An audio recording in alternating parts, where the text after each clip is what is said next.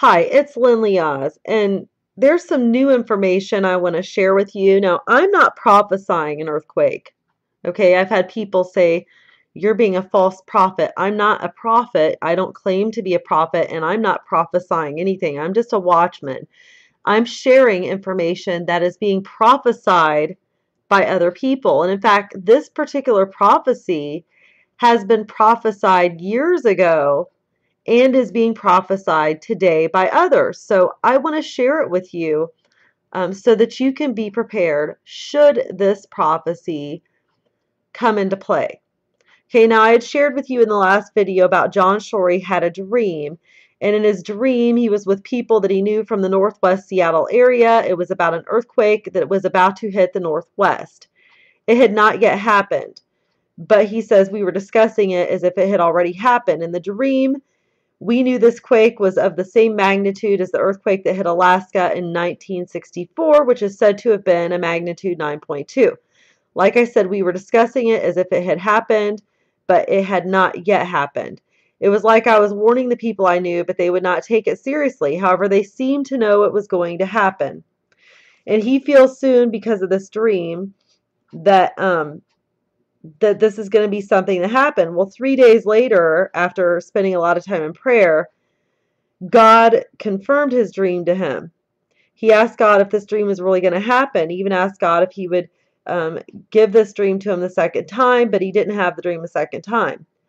But as he was praying, he continued to ask God to confirm if this dream was from him.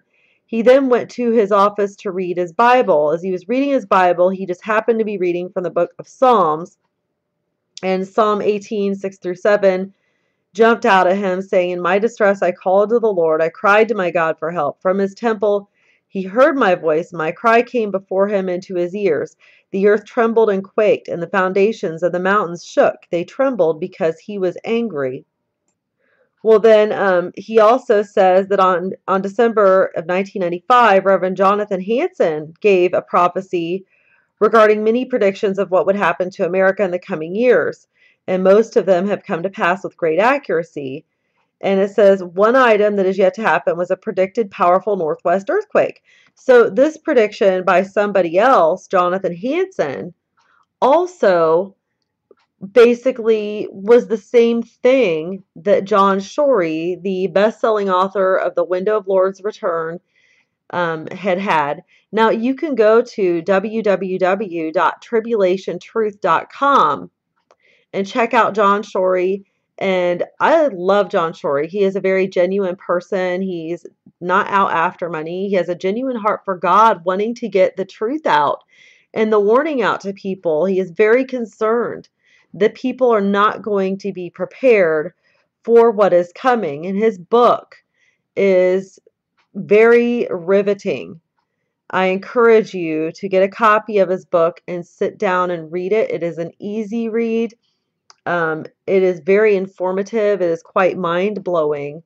I couldn't put it down.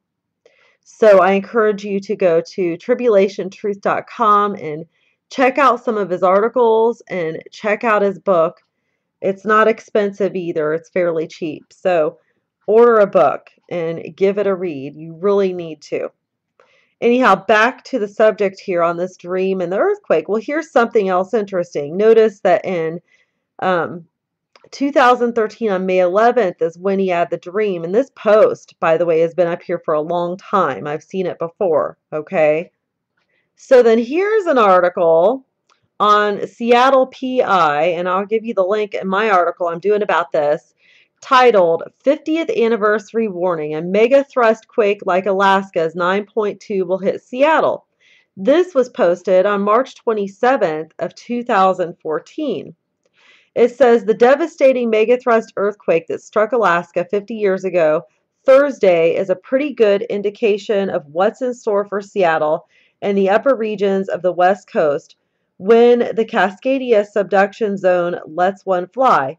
And we all thought the 6.8 Nisqually earthquake of 2001 was big. Well, look at these photos from the 9.2 magnitude Alaskan megathrust quake. Okay, and here's some of the photos from that quake.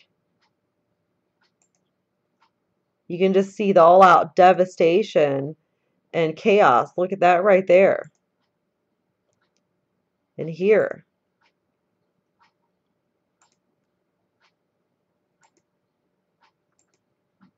So there's a lot of pictures here. There's 28, but I'm just showing you some of them. I will, like I said, leave you the link and you can go check out all the pictures if you like. I mean, look at this big split right here. I mean, that's pretty bad, okay? It says the nearly completed six story, Four Seasons apartment building just off L Street in Anchorage, Alaska, lies in ruins after yesterday's earthquake, but a home beside it appears damaged March 28, 1964. Okay, so this was back in 1964. So that news clip there I just read you when it said yesterday's quake, that was the day after this earthquake in 1964. It says, luckily, these mega thrust magnitude 9 quakes happen only every few hundred years, so Alaska should be fine for many more decades. Unlucky for this part of the Northwest, however, the last Cascadia megathrust was a few hundred years ago, so we're due. On the 314 year anniversary of the last one, the Cascadia Region Earthquake Work Group published an updated scenario document for what that magnitude um, quake would do to us now. The group said in a news release Cascadia's last great earthquake occurred in January 26 of 1700, and stresses have been building on the fault ever since. While the full extent of the earthquake hazard was not realized until the 1980s, the Cascadia subduction zone is now one of the most closely studied and monitored regions in the world. Now, there is a lot more to this article that you will want to check out. In this video here, I'll post in my article as well, but there is a ton of information here and more pictures, okay? So you definitely want to go and check out this article. It's too much for me just to sit here and, and go over with you in this video. Now, if that wasn't enough, let's take a look at this. Right here, David Wilkerson's prophecy, earthquakes in Japan and USA. It said earthquake, earthquakes coming to the U.S. The United States is going to experience in the not too distant future the most tragic earthquakes in its history. One day soon, this nation will be reeling under the impact of the biggest news story of modern times. It will be coverage of the biggest, most disastrous earthquake in history. It will cause widespread panic and fear. Without a doubt, it will become one of the most completely reported earthquakes ever. Television networks will suspend all programming and carry all day coverage. Another earthquake, possibly in Japan, may precede the one that I see coming here. There is not the slightest doubt in my mind about this forthcoming massive earthquake in our continent. Now, listen to this. I am not at all convinced that this earthquake will take place in California. In fact, I believe it is going to take place where it is least expected. This terrible earthquake may happen in an area that is not known as an earthquake belt. It will be so high on the Richter scale that it will trigger two other major earthquakes. Now, this is from chapter 2 of David Wilkerson's 1974 book, The Vision. And um, see, you have to understand, eh, he says that he believes it's going to take place where it is least expected. Okay, everybody's looking for the um, San Andreas Fault earthquake or they're looking for the New Madrid fault line. Nobody's really thinking about this northwest earthquake. All right, so this is one thing to look at. And so then you've got what David Wilkerson said, accompanied by everything else that's being prophesied, including the article that I just showed you from the PI News. Let's go back to it um, stating a megathrust quake like Alaska's 9.2 will hit Seattle, posted on March 27th of this year, 2014, from Seattle PI. Okay, so um, I don't believe that's a Christian news place. Okay, it's just a Seattle PI news. So this is pretty intense. Then this is from June 29th of this year from the European Union Times. It says world goes on high alert after Arizona quake confirms worst fears. And it says an ominous report prepared by the main intelligence directorate that is circulating in the Kremlin today states that confirmation has been received from China's Ministry of State Security that the world's largest ever military maritime exercises now underway in the Pacific Ocean have been ordered to their highest alert status after the 5.2 magnitude earthquake that hit Arizona hours ago was confirmed as being a part of the still expanding and mysterious North American magnetic anomaly. Important to note, and as we had reported, on in our 13th June report. Russia issues grim report on North American magnetic anomaly. Commander in Chief of the Air Force, Lieutenant General Viktor Bondarev, then warned that a catastrophic event may be nearing for the North American region, that his forces had electronically swept for magnetic anomalies barely at fortnight ago, stretching from Alaska to California. So there you've got the whole Alaska thing again. I mean, look at this. You've got to look at this.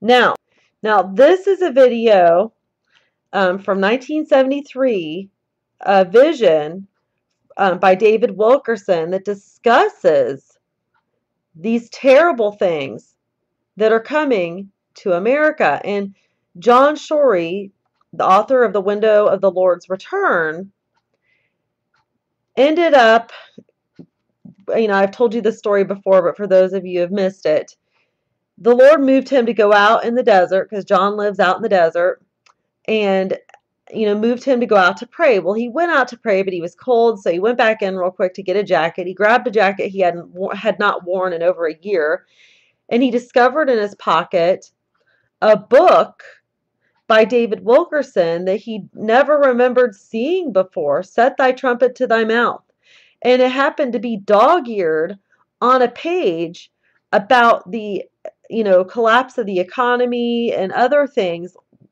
like this coming to America. So um, that's something in itself. So you've got that going on. And then you've got these prophecies by different people. Folks, this is something to really pay attention to. Now, I'm going to post this David Wilkerson video on my um, news stories. So I encourage you to check it out. You know, there's a bunch of different prophetic David Wilkerson videos. So be sure in case you haven't heard this one and listen to it. It is amazing. It, it gives you chills to listen to these things. Now, all I'm trying to do, I'm not a prophet. Okay, I don't claim to be a prophet. God has given me words. Like that last article I wrote, there was a couple paragraphs there that the Holy Spirit moved me to put in there. But I do not call myself a prophet. I am a watchman. A watchman is somebody that God sends out to warn. And the things that God sends a watchman out to warn about are never happy things. In fact, it's usually negative things. And he warns the people to give them a chance, to give them the opportunity to prepare themselves, and most of all, to repent and come to Jesus. So I want you to check this out. This is stuff that you don't want to miss. You can't afford to miss. Things are getting ready to happen. When exactly, I don't know. But they're saying either this year, they feel strongly this year, or at the latest, next year. So please, please, please pray and prepare yourselves for this. Thanks so much, and God bless you.